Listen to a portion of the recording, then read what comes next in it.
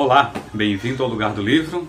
Hoje vamos falar de Os Homens que Não Amavam as Mulheres, de Stieg Larsson, o livro, e vamos falar um pouquinho dos dois filmes, o filme sueco e o filme americano.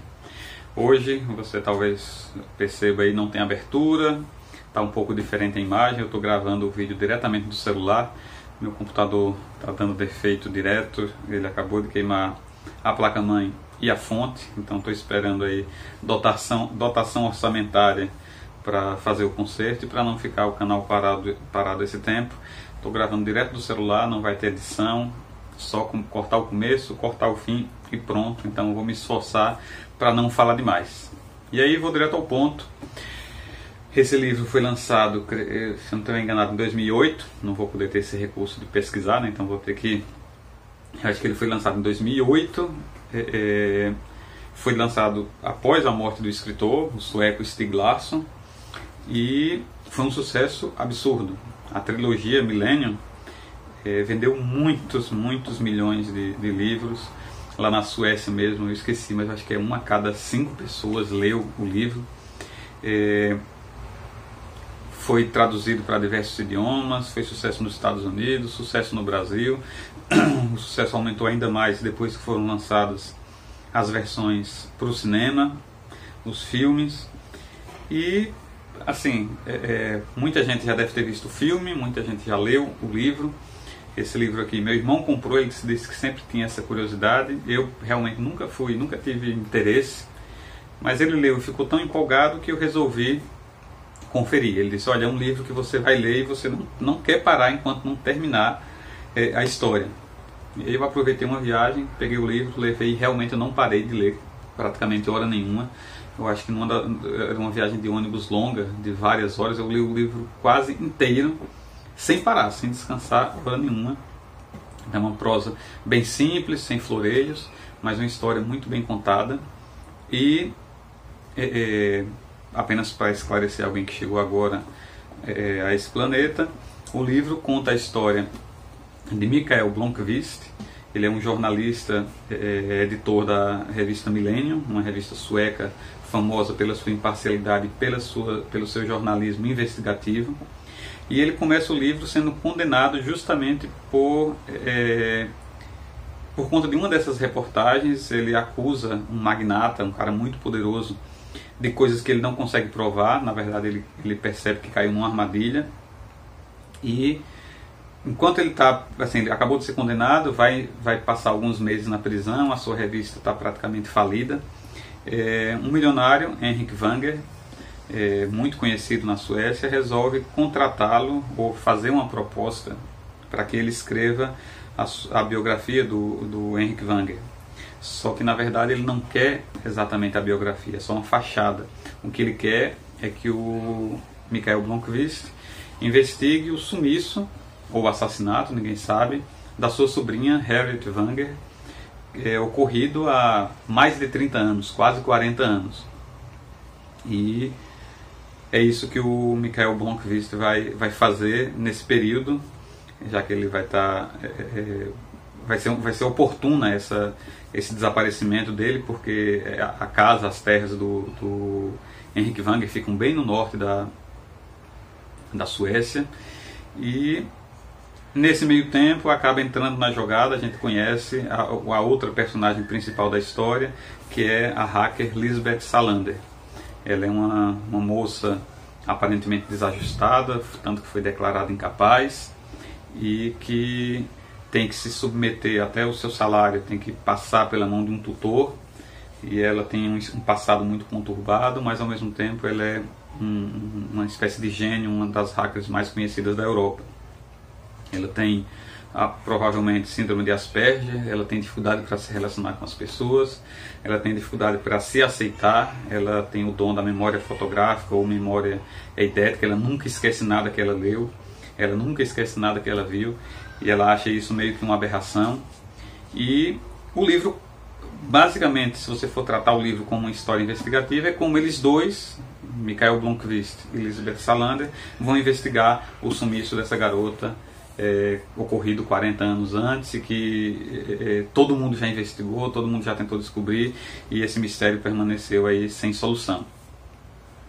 E aí entra o, o comentário rápido sobre os filmes, porque é, é, o, ambos os filmes, o filme sueco e o filme americano, é, o filme americano dirigido por David Fincher, é, eles se concentram nisso, os dois personagens resolvendo o problema. E aí, para mim, reside a grande diferença e essa diferença que faz com que o livro seja muito mais valioso, seja muito mais divertido.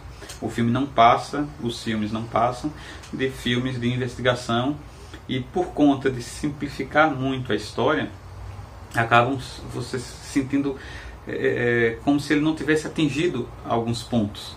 Então você não consegue entender as motivações dos personagens, algo é, é que está bem presente aqui. O autor ele dedica muitas e muitas páginas para contar um background aí, uma história do Michael Blomqvist, os relacionamentos dele, as motivações, o que é que é, é, interessa a ele, como é que ele erra, o que é que ele acerta, quais são os pontos fortes e os pontos fracos.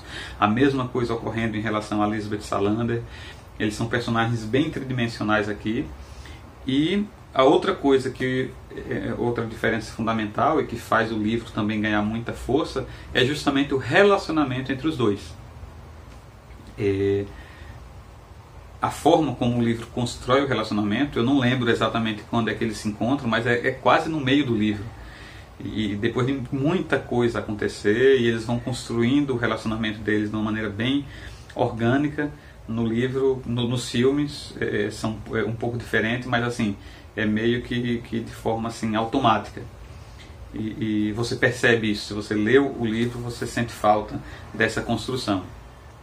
É, para mim, é, é, o, o, livro é bem melhor do que os dois filmes, apesar de haver pelo menos duas críticas minhas em relação à história, dois pontos que, que são meio que spoiler, que acho que eu vou comentar no finalzinho. Mas o livro ele é muito bom. Ele é aquele tipo de livro, como meu irmão falou, que, que você pega e você não quer largar, você quer ler páginas e páginas, porque ele sabe como amarrar cada, cada capítulo, sabe como construir a atenção.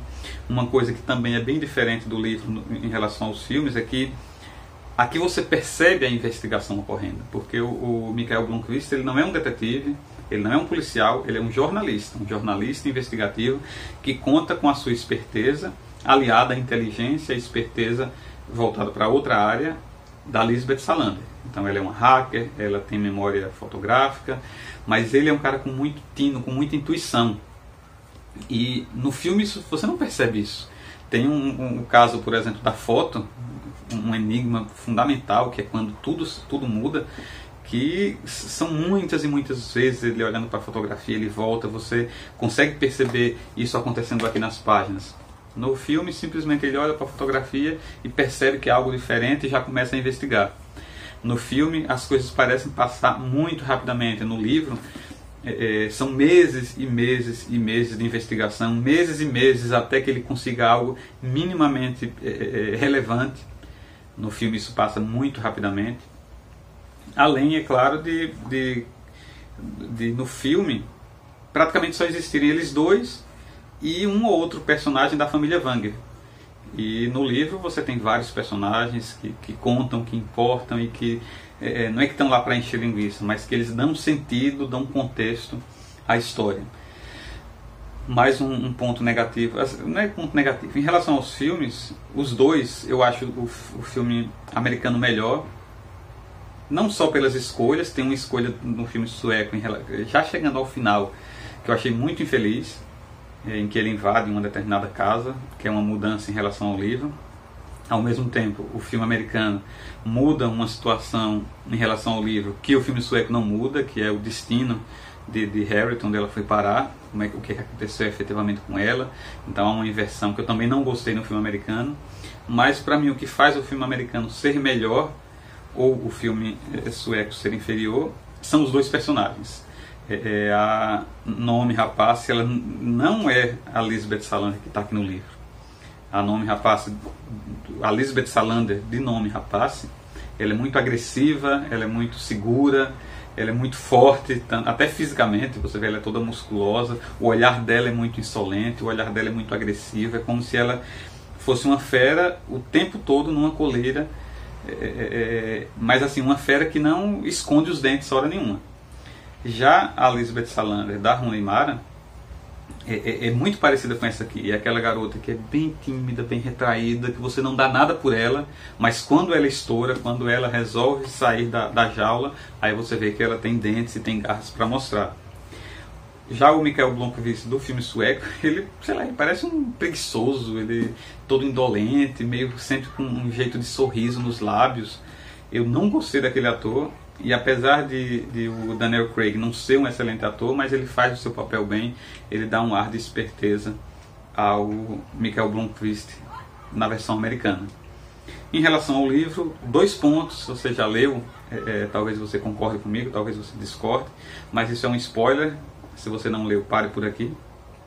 Mas, para mim, dois pontos frágeis da trama, mas que não chegam a comprometê-la muito, são, primeiro, o fato de que a revelação final, a grande revelação do, do, do, vilão, é o próprio vilão que conta, como se fosse um filme de terror B, como se fosse um filme de super-herói, um revistinho de super-herói, em que o vilão primeiro prende o sujeito, ele prende o Michael Blomqvist, para depois revelar todo o seu plano nefasto e só então tudo faz sentido.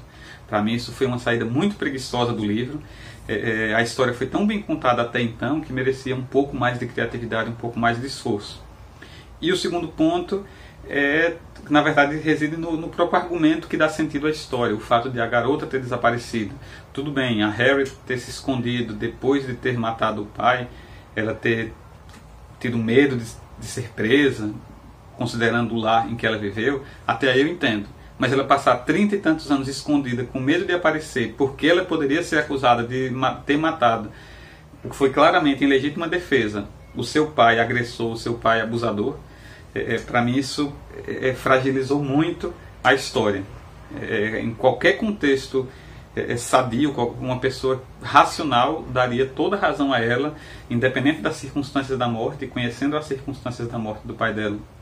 Eu creio que, e, e conhecendo as circunstâncias é, que, em que ela vivia, qualquer pessoa racional daria é, razão a ela, a, a Harriet, em ter feito o que ela fez. Então, é, é, o que move a história é justamente esse sumiço dela e por que ela sumiu, para mim é, é, pouco consistente. Apesar disso, se trata de um ótimo livro, os filmes são bons, é, é, mas não chegam a ser ótimos, e vale a pena. Eu ainda vou ler o segundo livro quando a minha fila folgar, mas se você gosta de um thriller, se você gosta de uma história com personagens bem construídos e de uma história em que as páginas passam rapidamente, os Homens que Não Amavam as Mulheres, de Stieg Larsson, primeiro livro da trilogia Milênio. É isso, um abraço.